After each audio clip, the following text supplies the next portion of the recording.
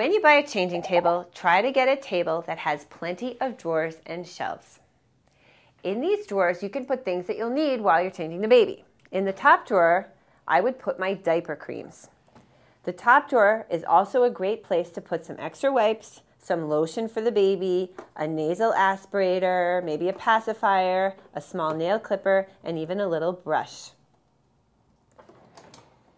In the bottom drawer, if you have one, you can put things like a baby monitor, an extra lotion, maybe some safety products, and even some of the manuals you'll be getting because when you start to buy baby products, you end up with a lot of manuals and it's very easy to lose them.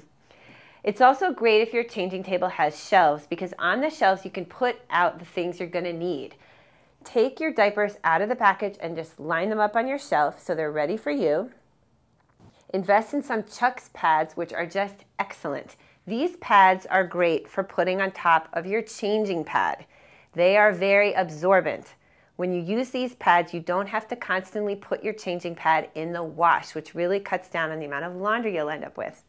If you have extra space at the changing table, think about also putting some extra bibs and some burp cloths.